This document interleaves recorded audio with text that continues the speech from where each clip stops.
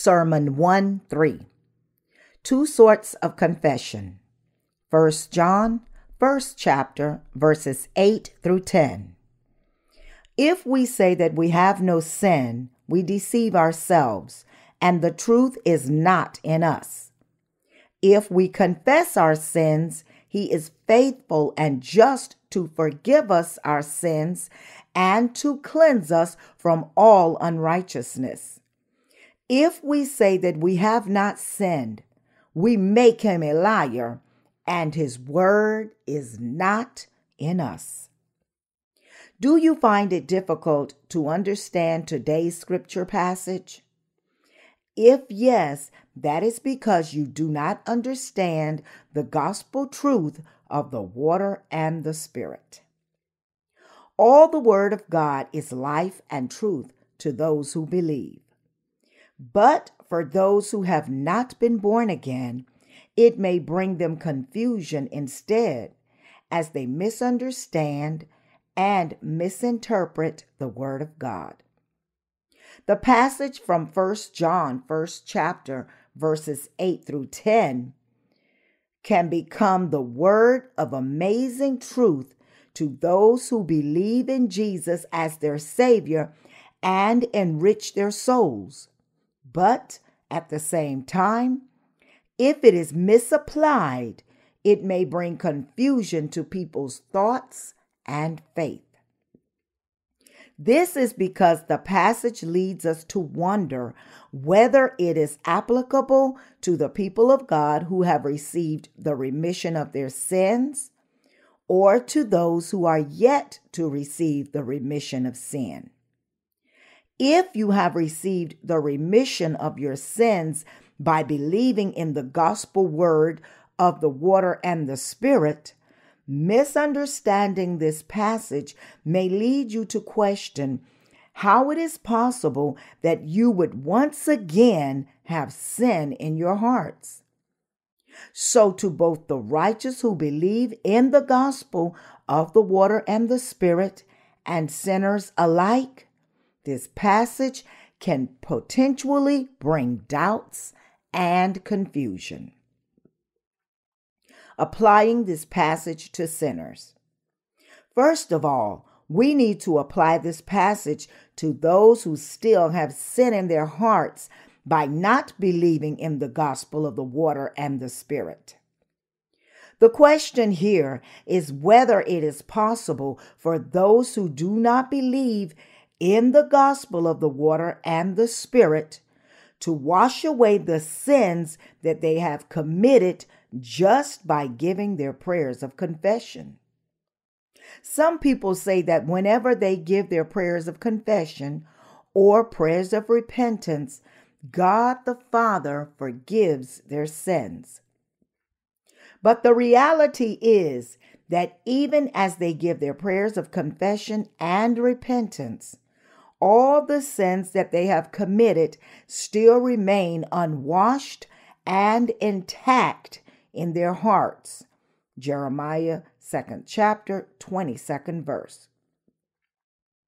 They've come up with such completely groundless doctrines and believe in them only to comfort themselves, just because they themselves, in their own thoughts, want to believe that God the Father would somehow forgive them as fathers would usually forgive their children when they just confess their wrongdoings. The fact of the matter, however, is that for those who give such prayers of confession, their sins still remain in the tablet of their hearts, testifying that they themselves still remain under the condemnation of God. It is written in Jeremiah's 17th chapter, first verse. The sin of Judah is written with a pen of iron, with the point of a diamond. It is engraved on the tablet of their heart and on the horns of your altars. You may know that the representative principle pervades all scripture.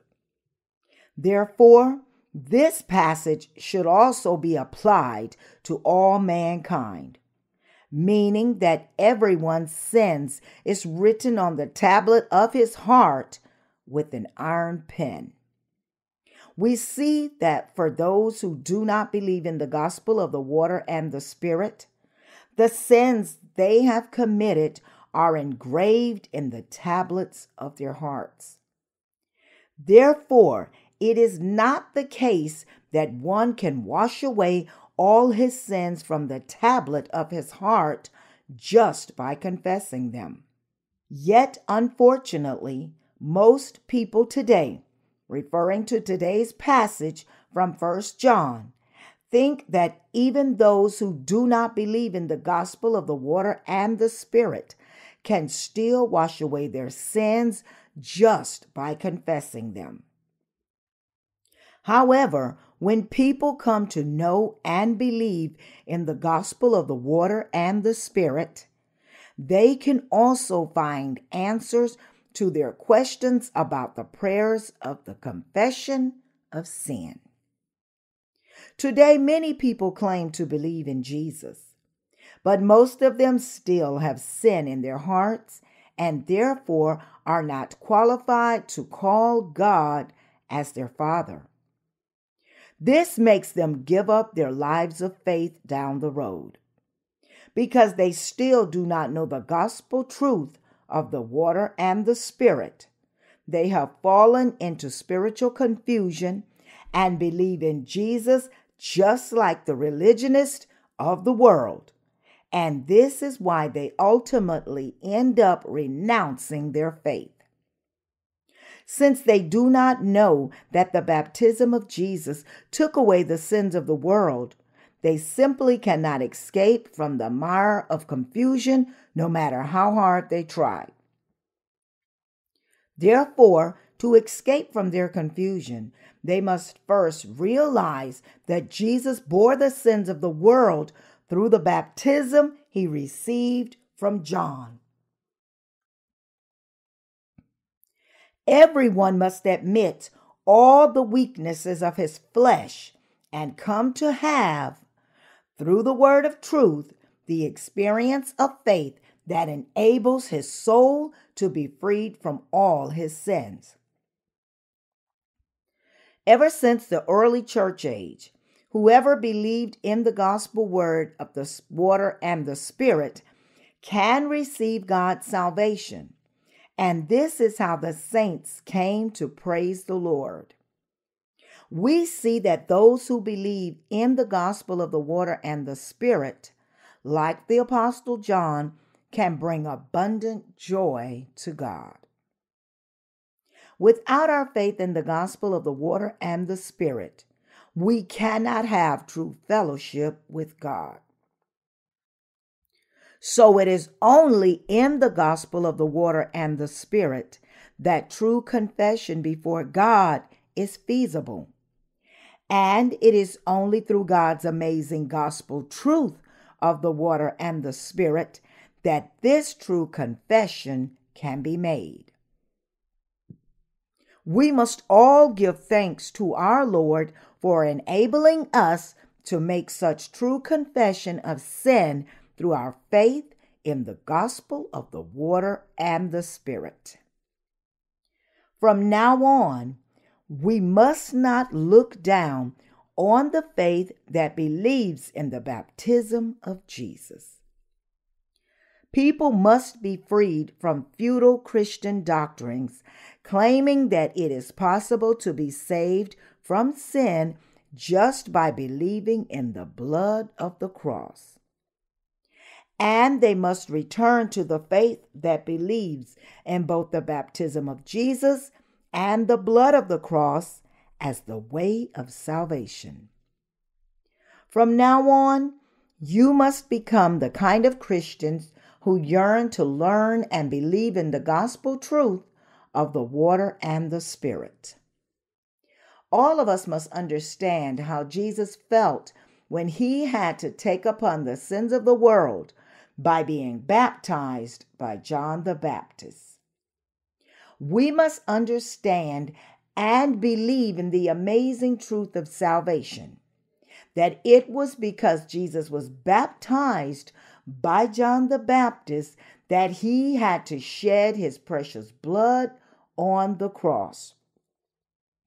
You must realize that it is when you know and believe in the gospel truth of the water and the spirit that you can become proper Christians. 1 John 5th chapter verses 3 through 7 and can also confess to God properly from then on.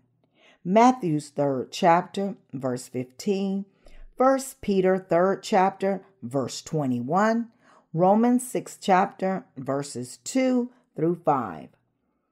I praise the Lord for giving us the gospel truth of the water and the Spirit. I praise the Lord for delivering us from all the sins of the world through the gospel of the water and the Spirit, and for moving us to the everlasting kingdom of heaven. By believing in this true gospel, all of us must forever walk with Jesus Christ. What is the valid conclusion to draw when we examine 1 John 1st chapter verses 8 and 9 from the perspective of those who believe in the gospel of the water and the spirit? It is revealed that the gospel of the water and the spirit is the definitive gospel and the clear truth. I will explain today's scripture passage from 1 John, first chapter, verses 8 through 10, from two different perspectives. One that is applicable to those who believe in the gospel of the water and the spirit, and one that is applicable to those who do not believe in this gospel. I take this approach because the Bible itself is speaking to two different kinds of people. One of them is those who still have sin in their hearts from their failure to know the true gospel word of the water and the spirit. And the other is those whose heart have become sinless by believing in the gospel of the water and the spirit.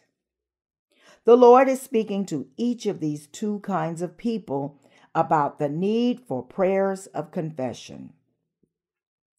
All of us have the duty to preach the gospel word of the water and the spirit and the truth of real confession to everyone, Christian and non Christian alike. This is why the Lord spoke this passage from 1 John, first chapter, verses 8 through 10, to each of these two kind of people. What is the result when we apply First John, first chapter, verses 8 through 10, to the sinners who still have their sins intact in their hearts, we realize that their faith is flawed.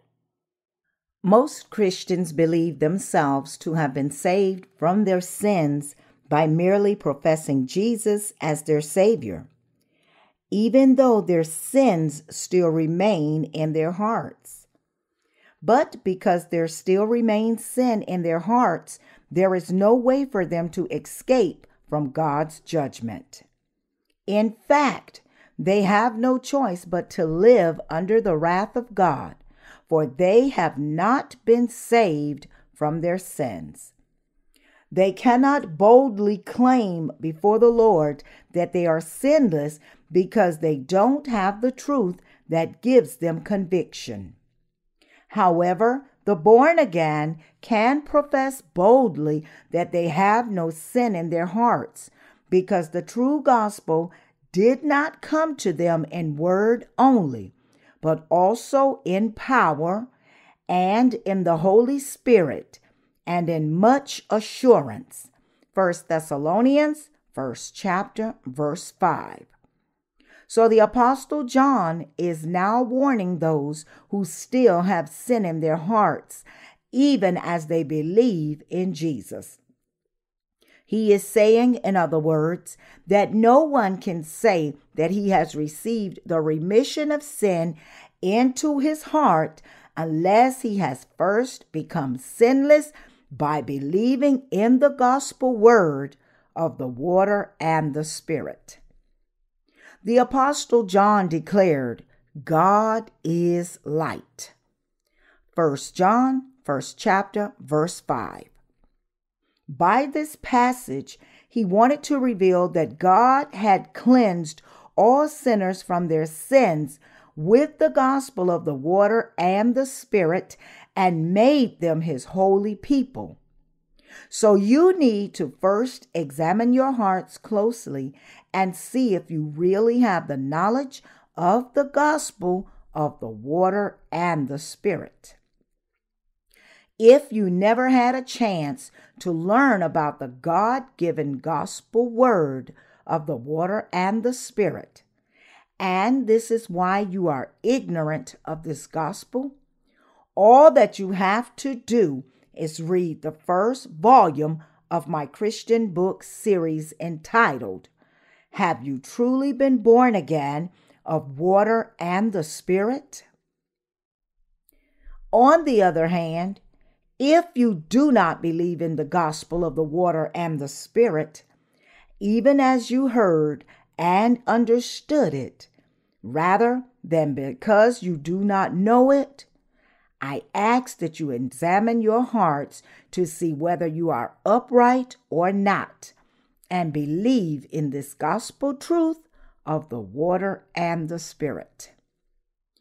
If you know and believe in this true gospel of the water and the Spirit, you can truly say that your hearts are sinless.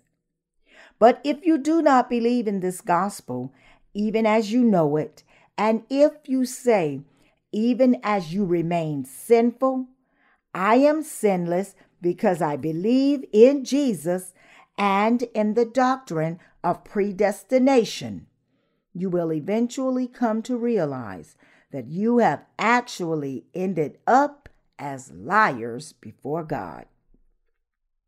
The Apostle John eagerly sought to preach the gospel word of the water and the Spirit to a certain group of people who profess to believe in Jesus. We can see this clearly from the passage where John declared God to be light. He implied in this declaration that in the early church there were people who had not received the remission of sin because they had refused to believe in the gospel of the water and the Spirit and that as a result, they became the liars who were deceiving themselves and God. The Apostle John was one who truly believed in the gospel word of the water and the Spirit. 1 John 5th chapter, verses 5 through 7. He knew and believed as well that Jesus by being baptized by John the Baptist, fulfilled all the righteousness of God, and by doing so, Jesus took upon the sins of the world and washed away all at once the iniquities of those who believe. This is why the Apostle John described Jesus Christ in 1 John 5th chapter, verse 6. As he who came not only by water, but by water and blood. This means that John believed both the baptism of Jesus and the blood of the cross to be the essentials of our salvation. From his point of view, those who profess to believe in Jesus without knowing the gospel of the water and the Spirit will unintentionally end up as liars before God. In other words, those who believe only in Jesus' bloodshed on the cross are inadvertently turning themselves into liars.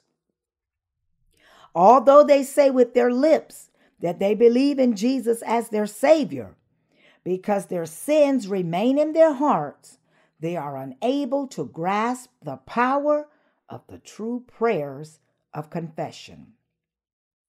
All their prayers of confession are futile. For them to truly give their prayers of confession, they must first believe in the gospel of the water and the Spirit. As the Apostle John believed in the gospel of the water and the Spirit, he provided a reinterpretation of true confession through the word of truth found in 1 John, first chapter, verses 8 through 10.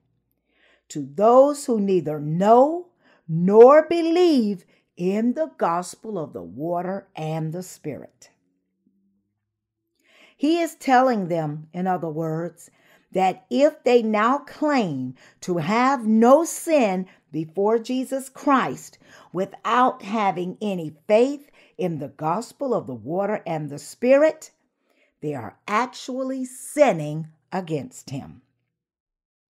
Therefore, they must first learn the gospel of the water and the Spirit that the Apostle John believed in and then also learn how to give the true prayers of confession by believing in the gospel of the water and the spirit.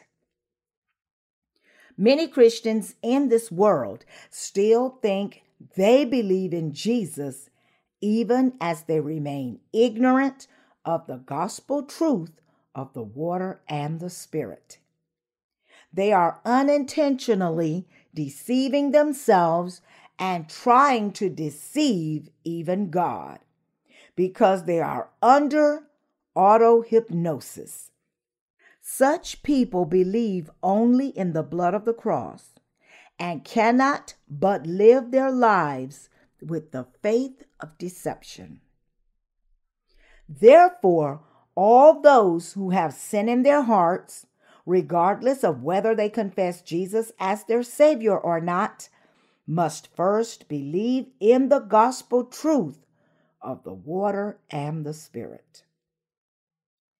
Only then can they give thanks to God. As such, to give the proper prayers of confession to God, you must first believe in the gospel truth of the water and the Spirit. What should you believe? Should you believe only in the sacrifice of the cross that you had already believed and known? Or should you believe in both the baptism Jesus received from John the Baptist and the blood of the cross? Which gospel, in other words, do you think is the right one? In John 3rd chapter, verses 1 through 10, Jesus said that to enter heaven, one must be born again of water and the Spirit. All of us must therefore receive the remission of our sins by believing in the gospel of the water and the Spirit. Those who have not received the remission of sin must first confess God, though I believe in Jesus as my Savior, my heart still has sin. I admit that I cannot avoid but be condemned by you for my sins. Please deliver me from all my sins and all my punishment of sin. This is how we must pray. God will then give them the gospel word of the water and the Spirit the truth of salvation that He has prepared for such people and save them. You must pray to the Lord. Sinners must first pray to the Lord to save them from all their sins, so that they may become the ones who can make true confessions of the born again to God. You must first have the knowledge of the gospel of the water and the Spirit, thereby washing away all your sins by faith and becoming the ones who dwell in God's light. If you have this true gospel and believe in this with your hearts, you can be washed from all the sins that had been in your hearts till now.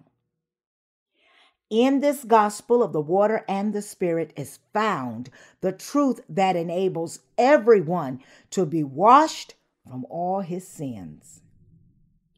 It is when we truly believe in the gospel of the water and the spirit that our heart can truly become sinless.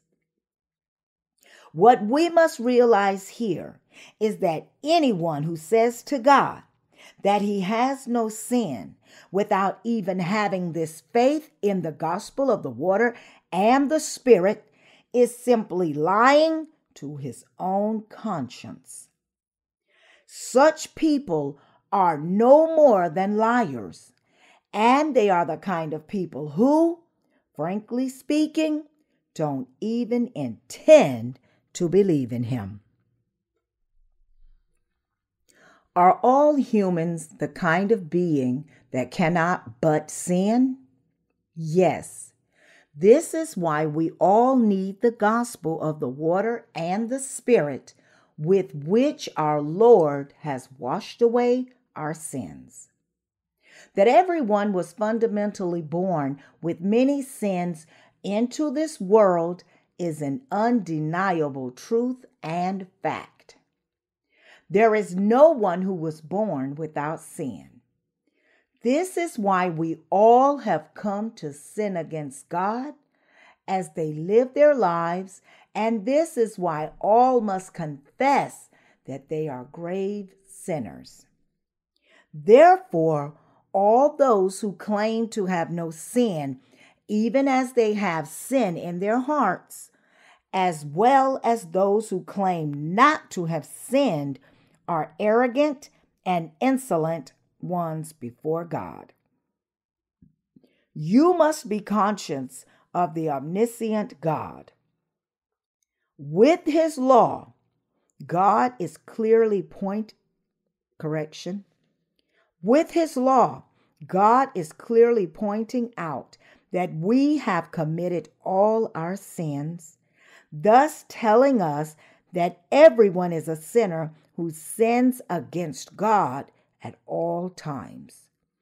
If, despite this, there still are those who say to God that they have never sinned, 1 John 1st chapter verse 10.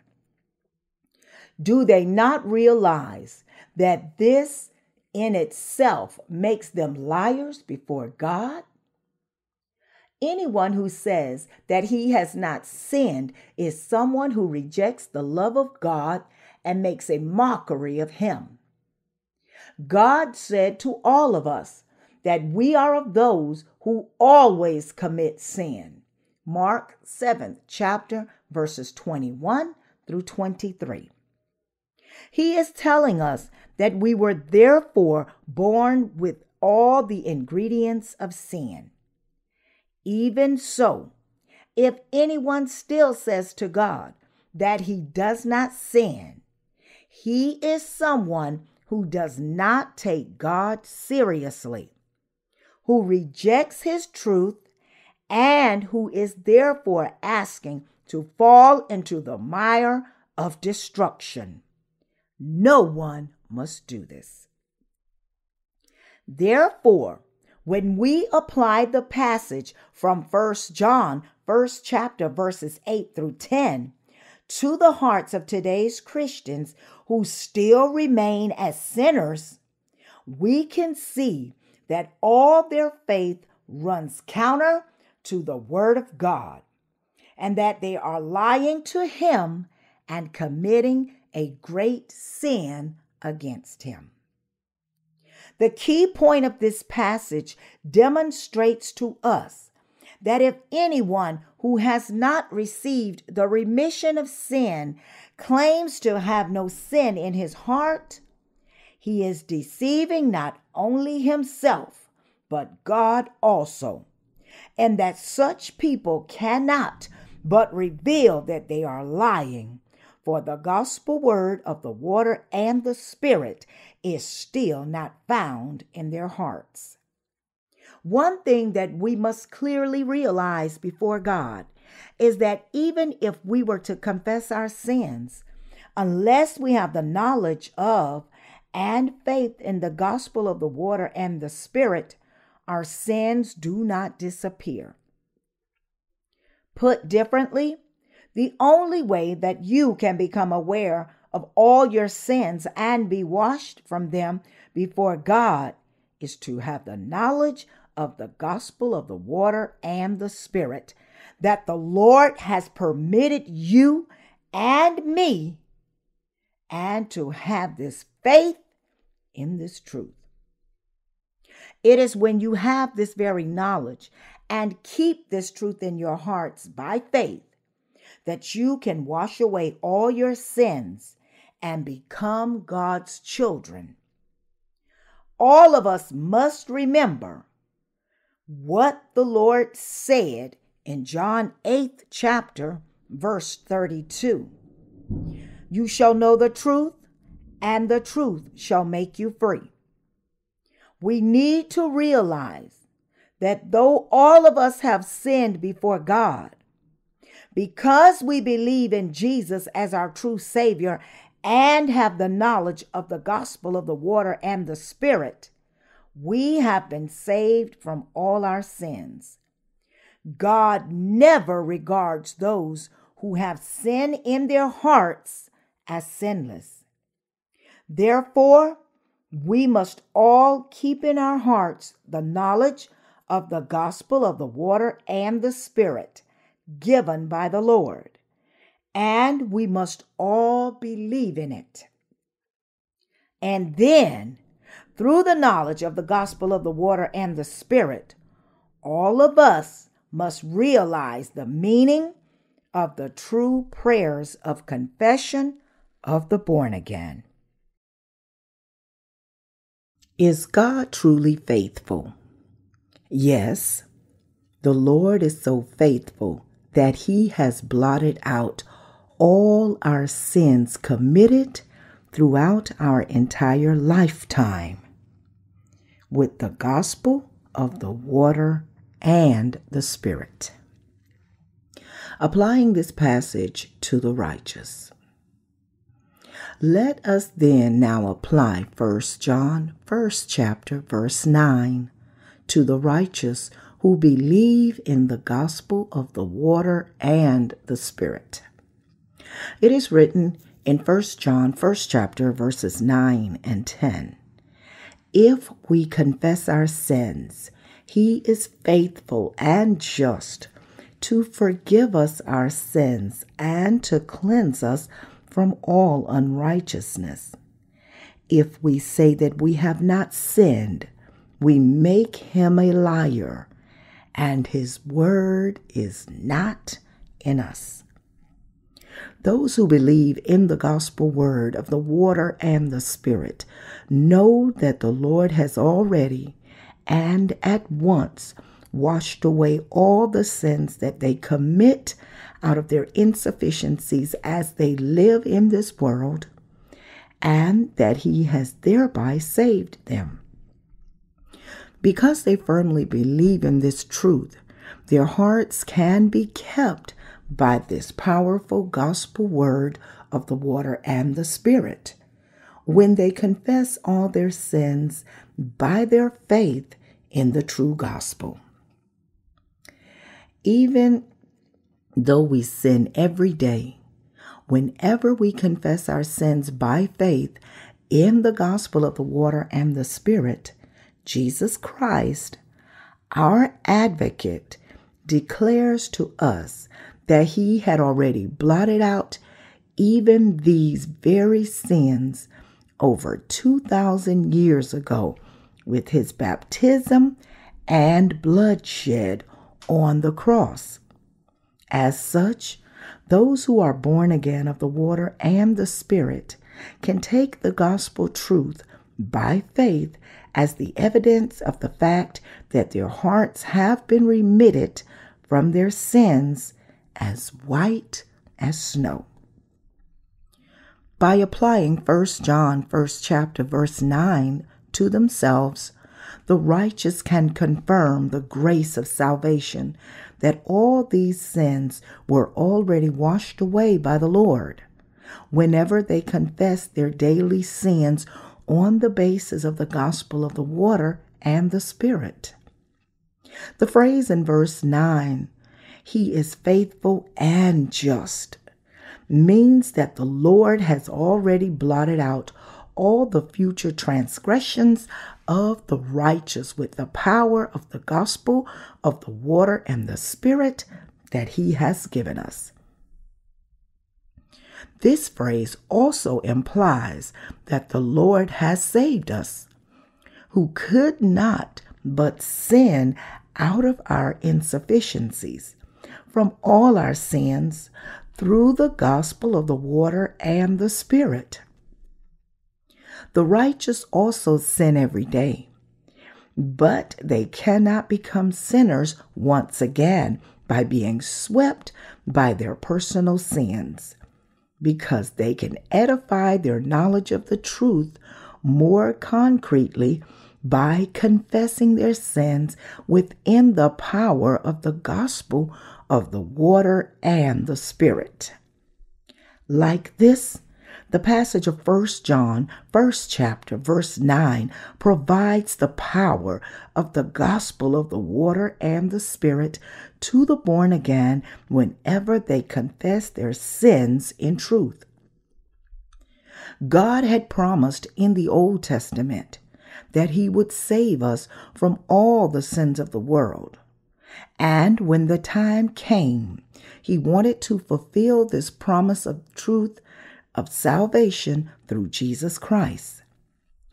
Therefore, the Lord came to this earth, took upon all the sins of this world by being baptized by John the Baptist, shed his blood on the cross while carrying all the iniquities of sinners, rose from the dead again, and has thereby washed away all our sins once for all, thus fulfilling his promise once for all. What does 1 John, first chapter, verse 9 reveal to us? It reveals that with the gospel of the water and the Spirit, the Lord has remitted away even all our personal sins. 1 John, first chapter, verse 9, manifests the truth that the Lord has blotted out all our personal sins with the power of the gospel of the water and the Spirit. Our Lord has already blotted out all the sins of this world with the power of this gospel. This means, therefore, that all the sins committed by those who believe in the gospel of the water and the Spirit have already been washed away by the power of the word. For the righteous also sin at all times while living in this world. They must always look toward the gospel power of the water and the Spirit and trust in the word of truth that has washed away all these sins by frankly confessing all the sins that they commit. Although we are righteous before God, we are no more than such weak beings who cannot but sin against him every day. This is why placing our faith in the power of the water and the Spirit, we must look toward the Lord who has sanctified us. Unless we do so, we will turn into foolish religionists. Though we are righteous, we also need to confess our sins within the faith based on the Word. By doing so, we can keep our hearts clean consistently. It is written, There is not a just man on earth who does good and does not sin. Ecclesiastes 7th chapter, verse 20. This means that even the righteous sin against God all the time.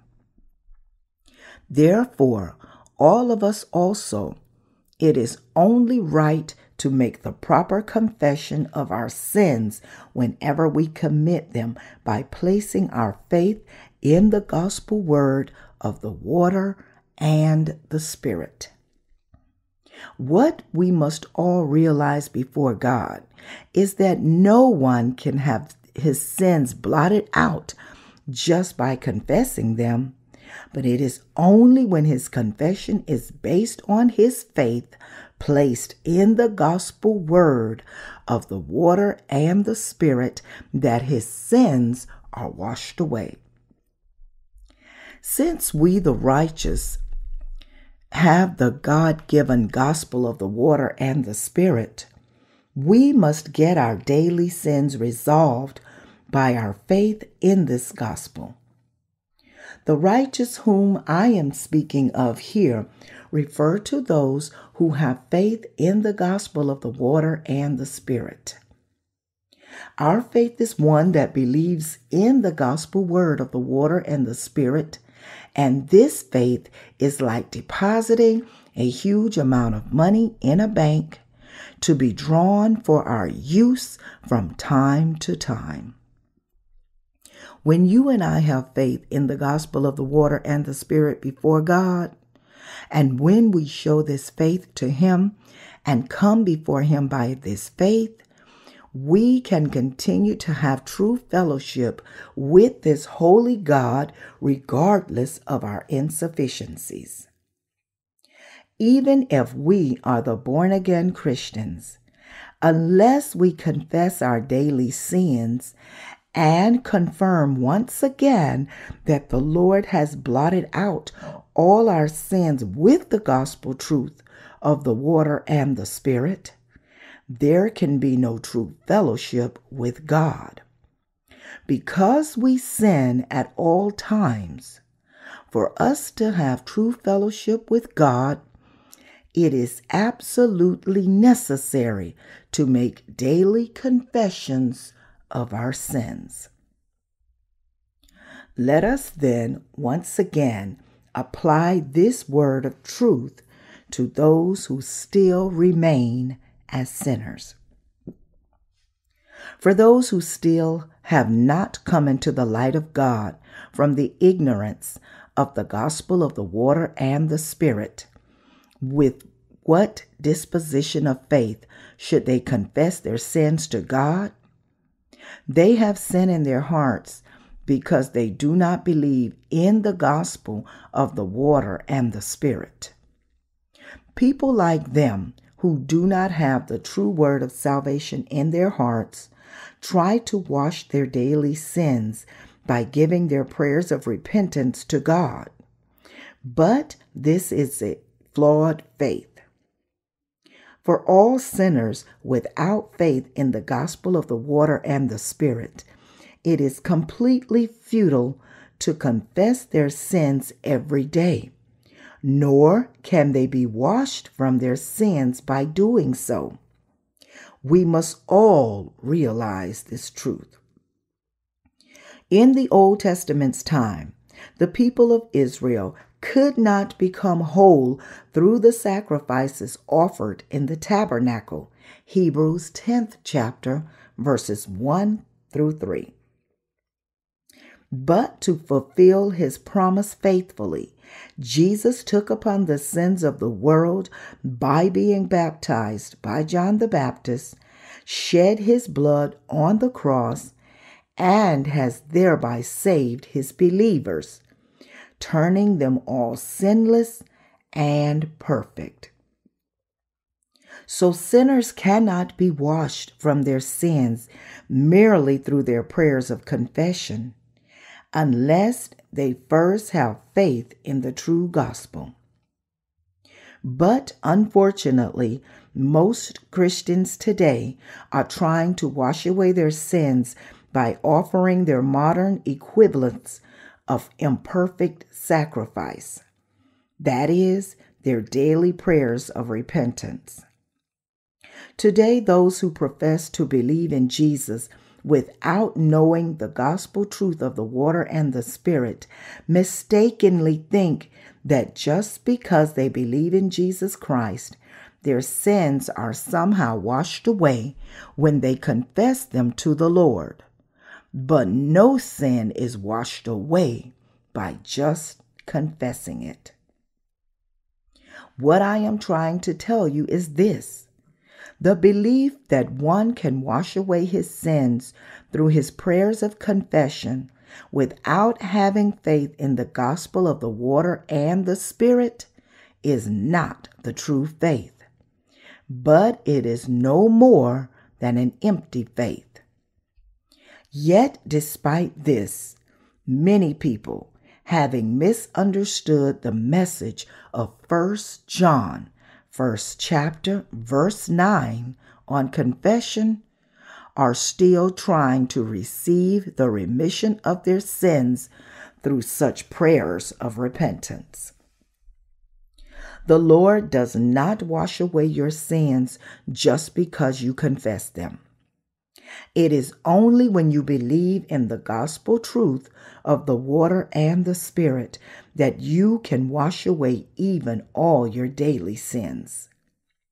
This is because our Lord, by taking upon the sins of the world through his baptism and shedding his blood, has already washed them away. The washing of your sins is therefore possible only when you know this word and believe in this truth. As such, unless you believe in the true word of the water and the Spirit with your hearts, you cannot wash away all the sins that you are committing. As you now know, by placing your faith in only the blood of the cross, all your sins cannot be cleansed away. You may think to yourselves that your sins were washed away by believing only in the blood, but in fact, you cannot deny that all your sins still remain in your heart. This is beyond any doubt. One may, then, wonder if the gospel of the water and the spirit is a new gospel that has emerged only in this age. But this is not true.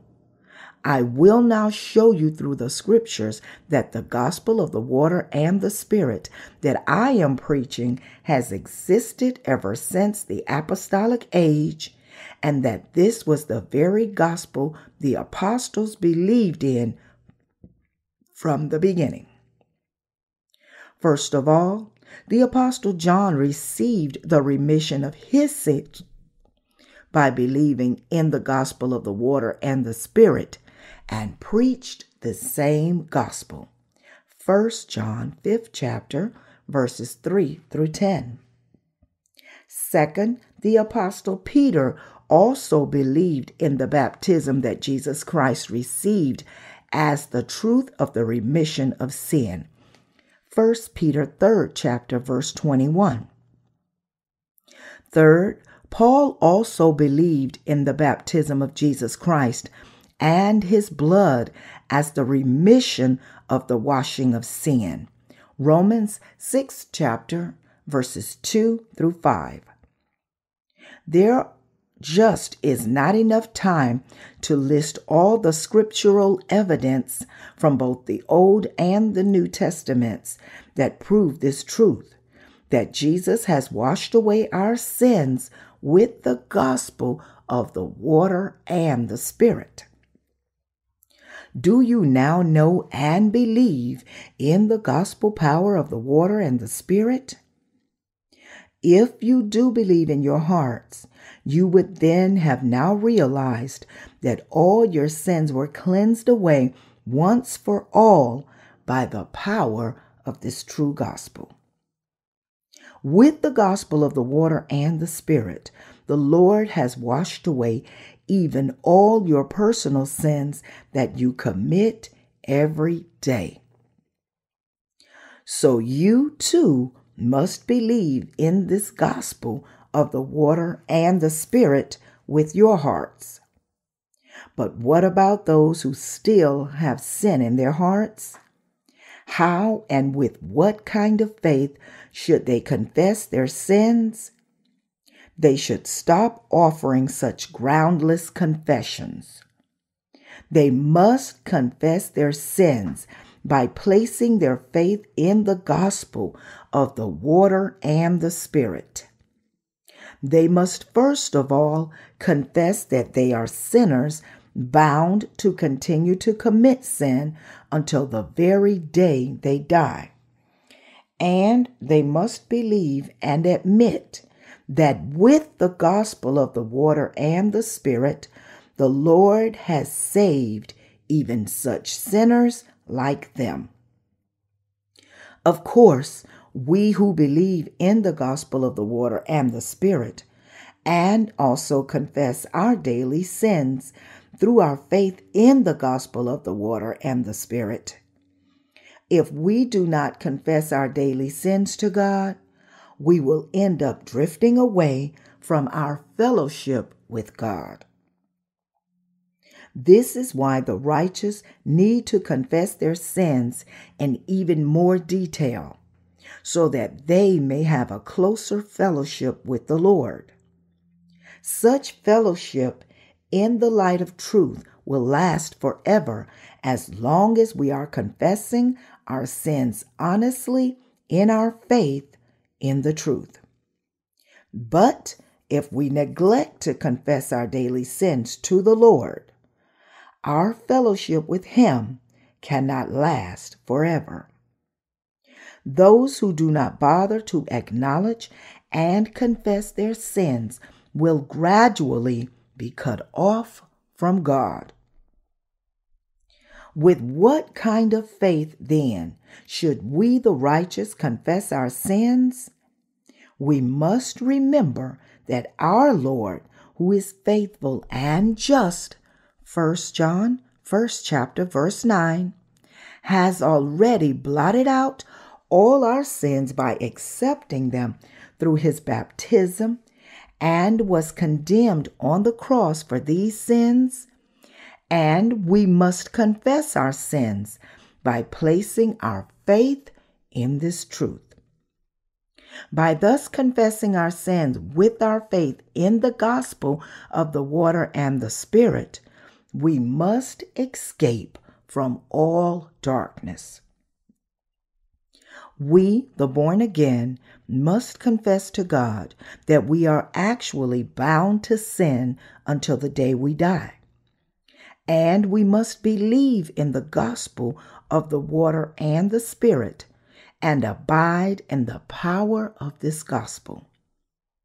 The true confession of faith is more than sufficient to enable us to dwell in the faith that believes in the gospel power of the water and the Spirit, and to cleanse our hearts.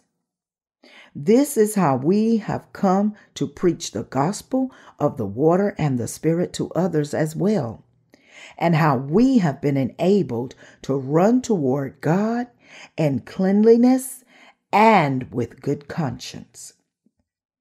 This made us God's good soldiers who can call upon God and win the spiritual battles by faith.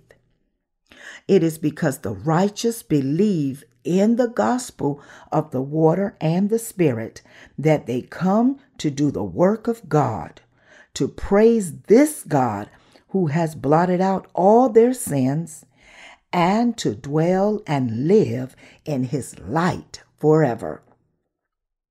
Believe in this truth and take it to your hearts. We who believe in the gospel of the water and the Spirit also sin every day, for we are insufficient in our flesh. How then should we confess these sins? Is it sufficient to confess in details such as, Lord, I have committed this sin and that sin? No, The right confession for us, the righteous, is to admit that our true nature to God, that is, to confess to God that we are bound to sin until the day we die, and abide in the faith that believes in the gospel word of the water and the Spirit. We can make the most proper confession to the Lord by admitting the nature of our weak flesh. Whether the righteous or sinners, when it comes to confessing one's sins, all must confess that the fundamental nature of their flesh is such that they cannot avoid but sin. And they must acknowledge that they commit sin all the time, not only with their flesh, but with their thoughts as well. In this way, they must confess properly to God. And then they must have the faith that always holds on to and believes in the gospel of the water and the Spirit. That is, we must never forget that the Lord has blotted out our sins once for all through his baptism and bloodshed, and that he has shown us the true power of salvation. Those who believe in the gospel of the water and the Spirit before the Lord have come to realize just how effectively the power of this gospel of salvation is applied to the hearts of believers to wash away all their sins. It is by believing in the gospel power of the water and the Spirit with our hearts that we can wash away all the sins of our conscience. And it is because of this that we can come to thank the Lord. Moreover, because this faith in the true gospel has cleansed our conscience as well, it enables us to go to God in good conscience. 1 Peter 3rd chapter verse 21. When we believe in the gospel of the water and the Spirit, our good conscience of faith leads us to praise the righteousness of God forever. It also enables us to dwell in the light and to do God's work forever in this light. Like this, faith in the gospel of the water and the Spirit is absolutely necessary for the righteous and sinners alike. How did David confess when he committed sin? He confessed all his fundamental nature before God. David's faith that reflects the proper confession of faith before God is revealed in Psalm 51, verses 5 through 7. Behold, I was brought forth in iniquity, and in sin my mother conceived me. Behold, you desire truth in the inward parts, and in the hidden parts you will make me know wisdom. Purge me with hyssop, and I shall be clean. Wash me, and I shall be whiter than snow. Because the Lord desires truth in our inward parts, David confessed to God, I was brought forth in iniquity, and in sin my mother conceived me. Lord, this is who I truly am. I am bound to sin until the day I die. Such is my fundamental nature. David confessed to God, in other words, in this way Through the sacrifice of the Day of Atonement offered in the tabernacle, David had already been cleansed from all his sins by believing in the Savior to come, who would receive baptism and shed his blood for David's sins. When David confessed his sins, he confessed his fundamental sin nature to God and looked toward the Lord's mercy. He confessed to the Lord fundamentally that he could not avoid but sin, and that when he was made in the womb of his mother, it was in sin that he was made. His confession admits, Lord, I am a grave sinner from my birth. Lord, because I am such a pile of sin, I slept with Bathsheba and I murdered your faithful soldier. I lied to my people and even to you. So I blasphemed you and I broke all the Ten Commandments. This is how he confessed. In other words, David confessed to the Lord that this was what his fundamental seed was. When you and I confess our sins to God, we must confess by believing in the gospel of the water and the Spirit.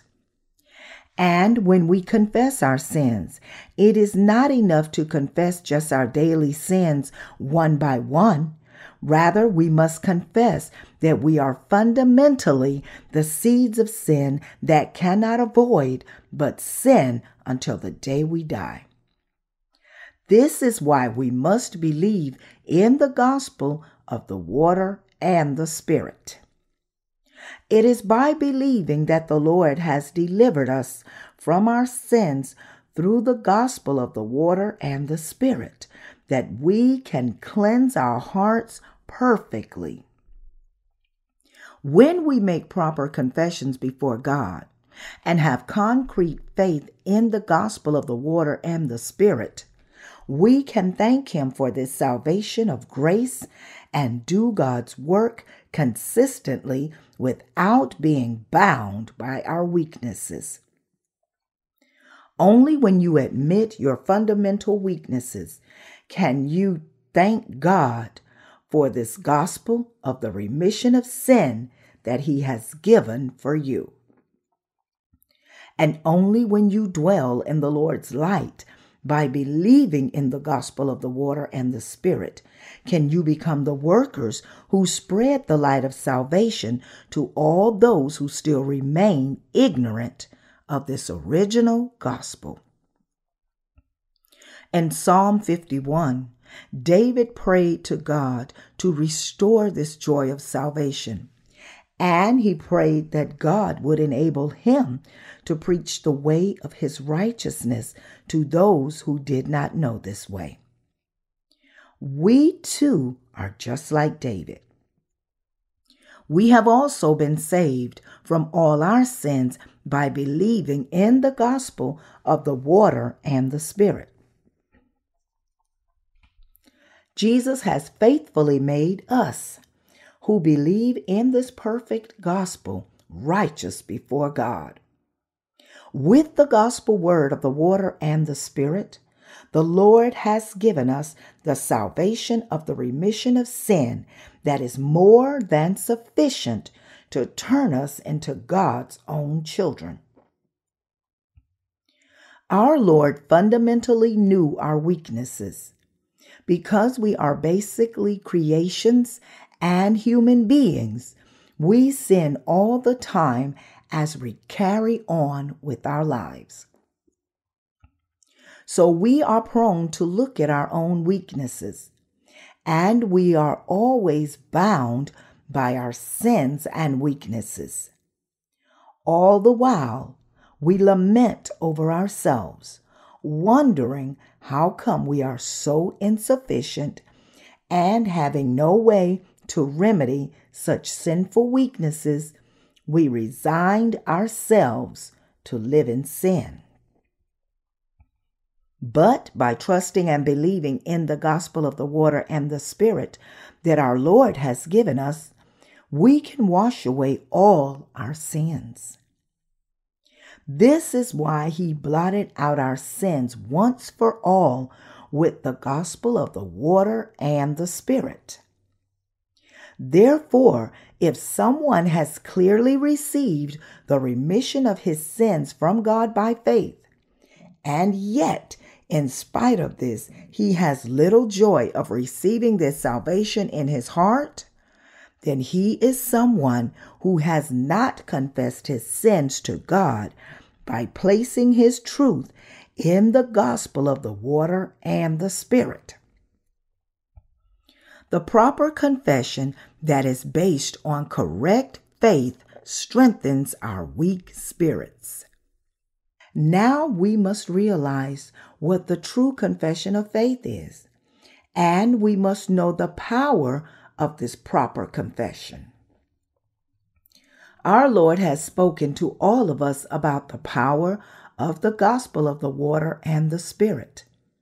When we confess to God, like David, that we are fundamentally bound to sin until the day we die, Jesus then fills our hearts with his grace of the remission of sin that has washed away our sins through the gospel of the water and the Spirit.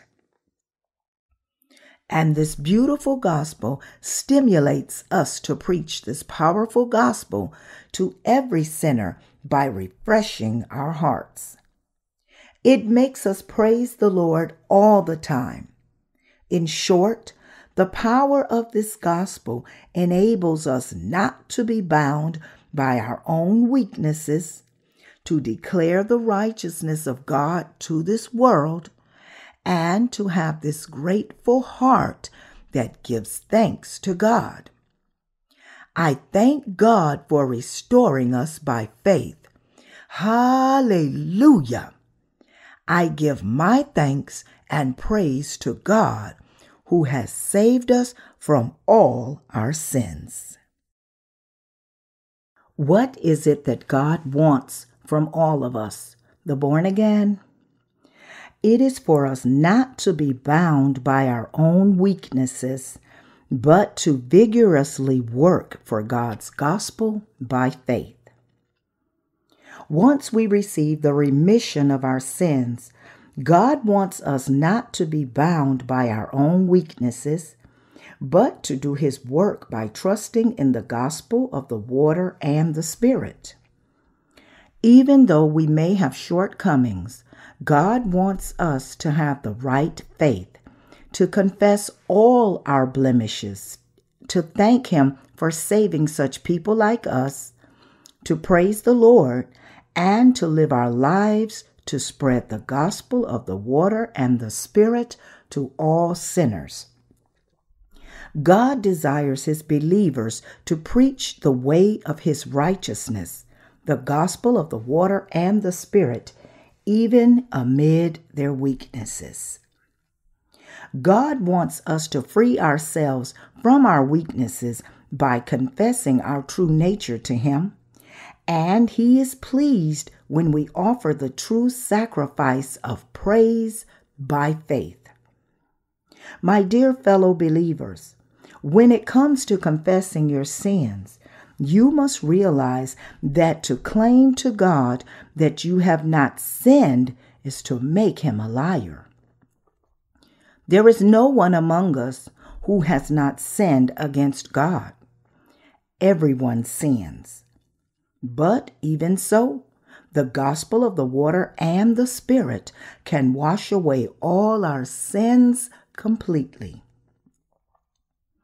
As such, by placing our faith in the gospel of the water and the Spirit, we must move even closer to God and glorify Him.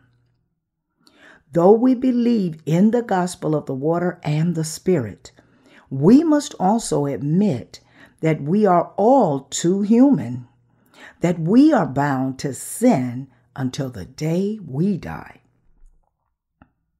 Now we must admit our insufficiencies, and we must always confess our shortcomings and our faith in the God given gospel of the water and the Spirit to Him. Only then can we be clothed in the power that frees us from all our sins by believing in the gospel of the water and the Spirit. We must indeed be freed from all our sins that bind us in bondage by believing in this gospel power of the water and the Spirit.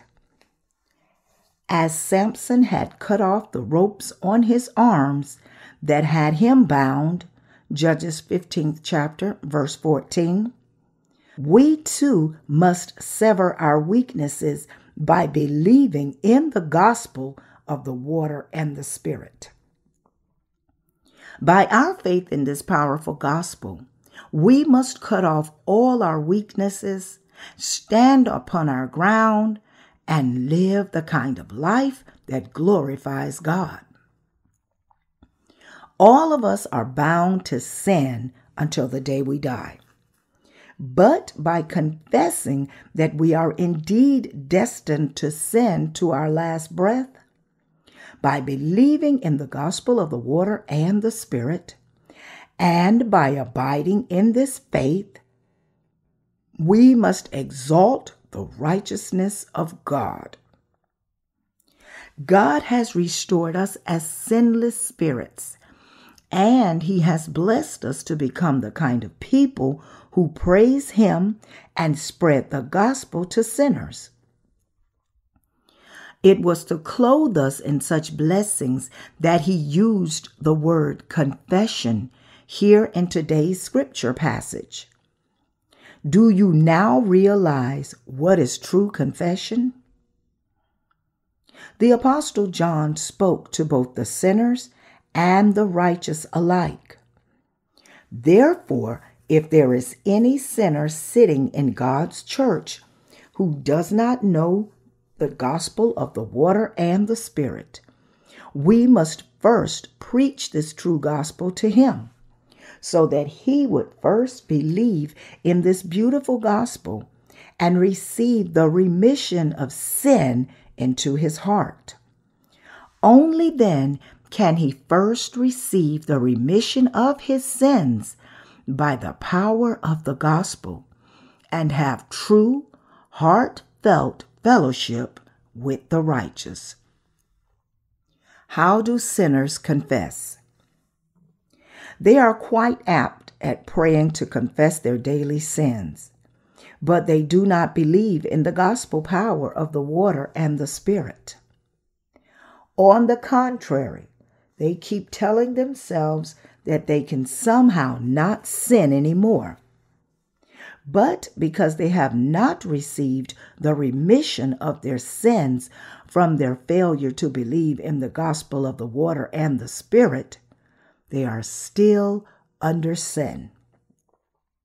So even as they profess to believe in Jesus, their lives of faith end up mired in contradictions, for there is sin in their hearts. In other words, though they believe in Jesus, they are always insufficient. And as they are bound by such insufficiencies, they turn into hypocrites before God and other people.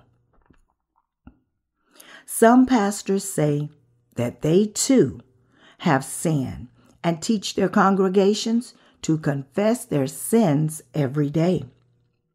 To them, confession is simply a synonym for prayer of repentance. They even give their prayers of repentance publicly in every meeting.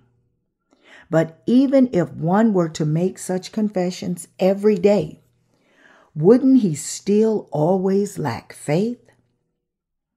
The reason for this is because unless one has faith in the gospel of the water and the Spirit given by the Lord, his sins cannot be washed away, no matter how frankly he confesses them.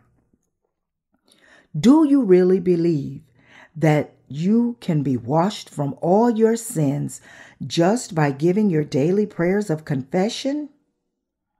No one can receive the true washing of his sins unless he has faith in the gospel of the water and the Spirit.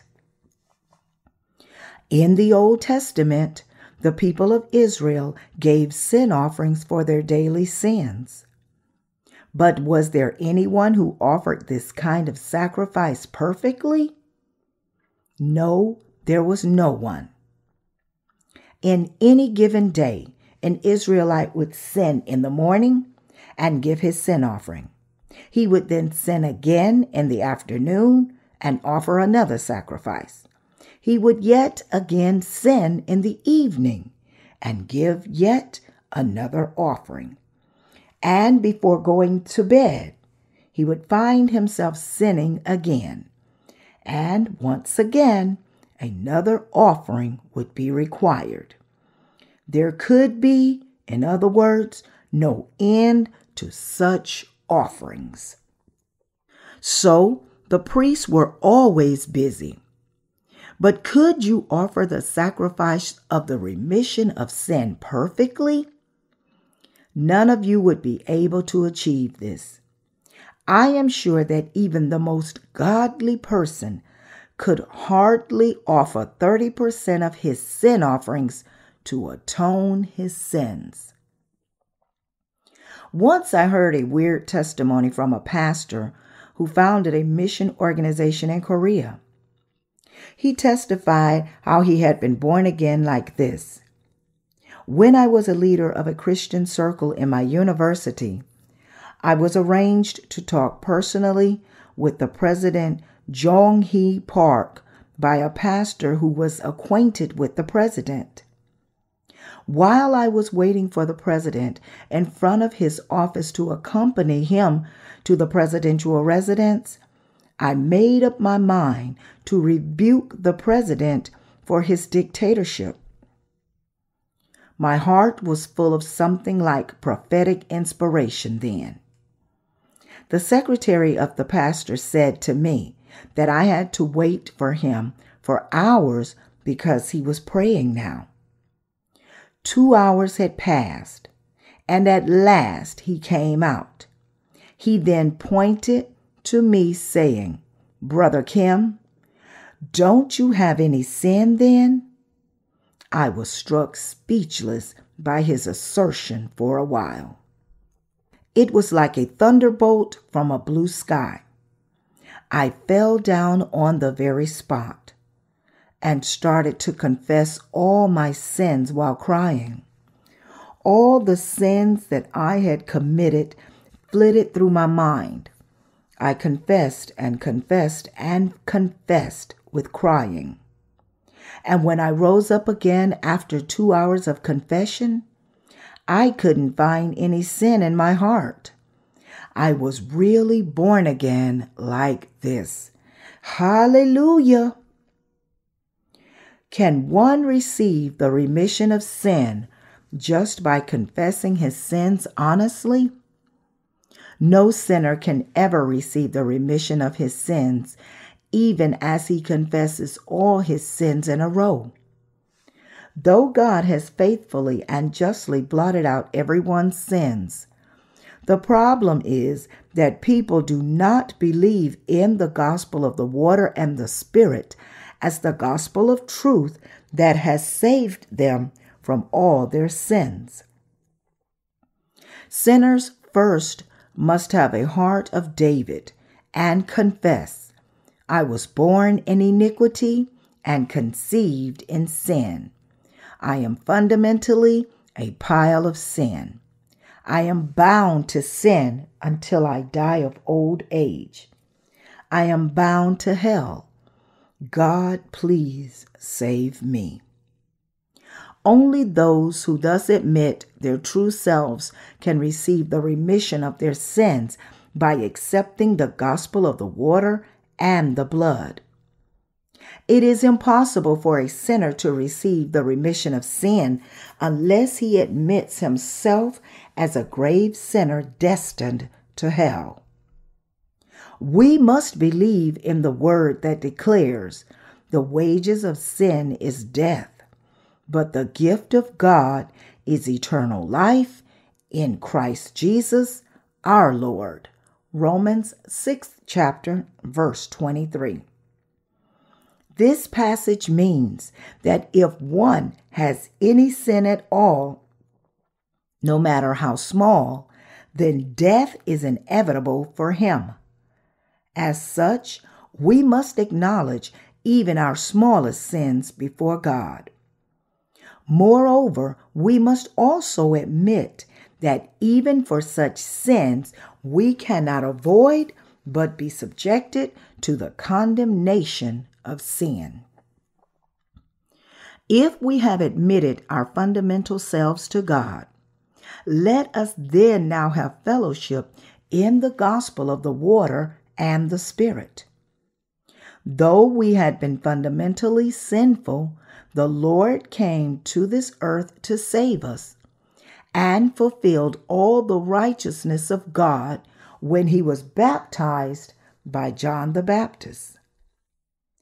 Our Lord accepted all our sins through his baptism, and he carried them to the cross. He shed his blood and died on the cross to pay off all our sins. He rose from the dead again in three days and now sits at the right hand of the throne of God. He has thus saved us perfectly. He has fulfilled all his righteousness through his baptism and bloodshed.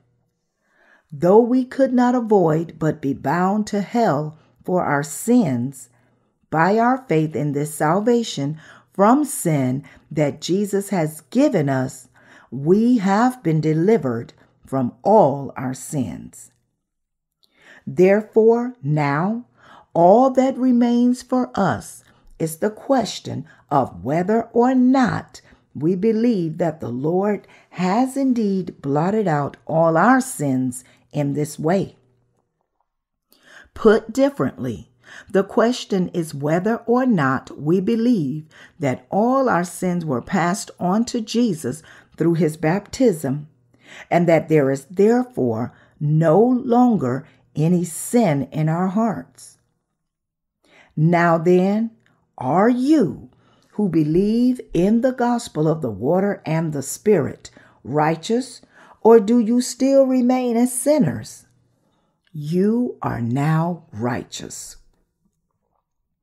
The Bible tells us that God is faithful and just.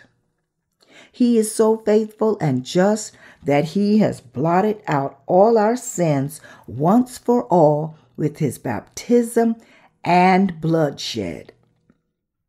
By believing in this gospel of the water and the Spirit, we have received the remission of all our sins once for all. Now, with this faith, must we, the righteous, confess our daily sins every day? The most important thing here is that we must confess our sins by placing our faith in the gospel of the water and the Spirit. After receiving the remission of our sins, how should we confess? We must confess, God, once again, I committed such and such sins today. And we must also believe in the gospel of the water and the Spirit. We must confess like this Lord God, I am bound to commit such sins until the day I die. But you have blotted out all my sins by the power of the gospel of the water and the Spirit. It is then that we become of those whose hearts are always clean, thus thanking God and serving Him. This is the right prayer of confession that the righteous give by faith. Such is the proper confession of those who believe in the gospel of the water and the Spirit.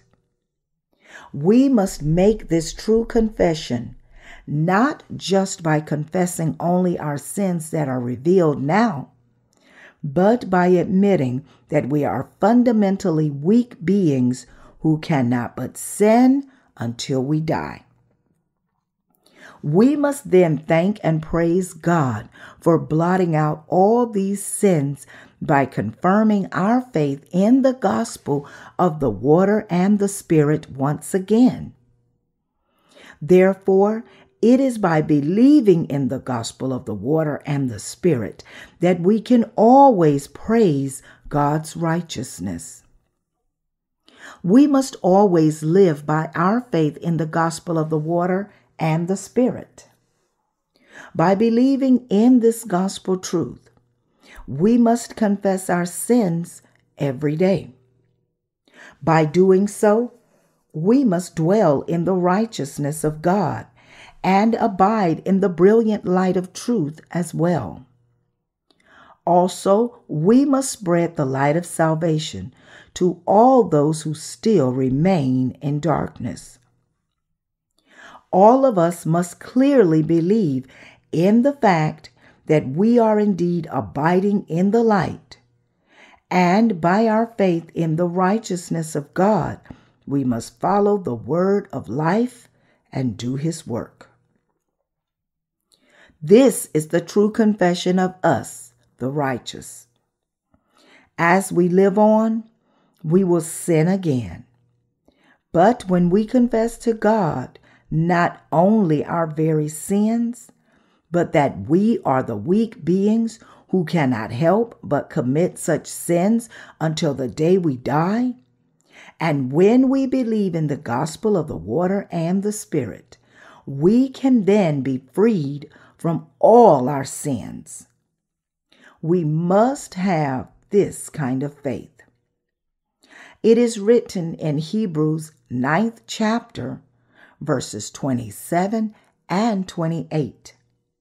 And as it is appointed for men to die once, but after this, the judgment, so Christ was offered once to bear the sins of many. To those who eagerly wait for him, he will appear a second time, apart from sin, for salvation. The Lord has made us clean. We are now apart from sin.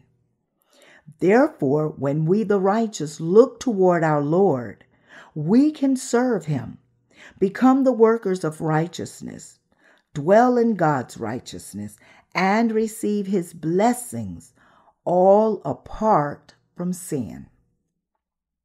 So the confession that the righteous make is clearly different from that of sinners. When we, the righteous, confess to God the sins that we have committed, we must confess by placing our faith in the gospel of the water and the Spirit. As well, placing our faith in this perfect gospel, we must admit that we cannot but sin in the future also. We can then all reach God's holiness and come before God with good conscience. For we believe in the gospel of the water and the Spirit. By believing in this true gospel, our good conscience can answer toward God and do His work. This is the blessing of confession that God has bestowed on the righteous. Do you believe in the gospel of the water and the Spirit? you must have confessed the sins that you committed before God. It is when we first recognize our insufficiencies that it is possible for us to confess our sins. Placing our faith in the gospel of the water and the Spirit, we must confess to the Lord that we are of such evil seeds. In this faith that believes in the baptism and blood of Jesus, you can be freed from your sins. Though you are insufficient, only by believing in the gospel that the Lord has given you, you can still be delivered from your sins and come to dwell in the righteousness of God. This is how the righteous can illuminate sinners with the light. We must abide in the light of truth by our faith in the gospel of the water and the Spirit. Those who do not know the gospel of the water and the Spirit cannot properly understand and grasp the true meaning of this passage in 1 John, 1st chapter, verse 9, that speaks about confession, which says, If we confess our sins, he is faithful and just to forgive us our sins and to cleanse us from all unrighteousness. Even the righteous actually continue to sin, and so their conscience can also become tarnished. What must we do then? To be cleansed from all our filthiness and to get our faith approved by God? We must confess our sins to Him by placing our faith in the gospel of the water and the Spirit. Could we possibly confess all our sins even if we tried? We all know very well that this is simply beyond our ability. But because we believe in the gospel of the water and the Spirit, the Lord has freed us from all our sins. Our Lord has cleansed us who believe in this true gospel from all unrighteousness. This gospel of the water and the Spirit that the Lord has given us has enabled us to make the true confession I give all my thanks to God. Hallelujah.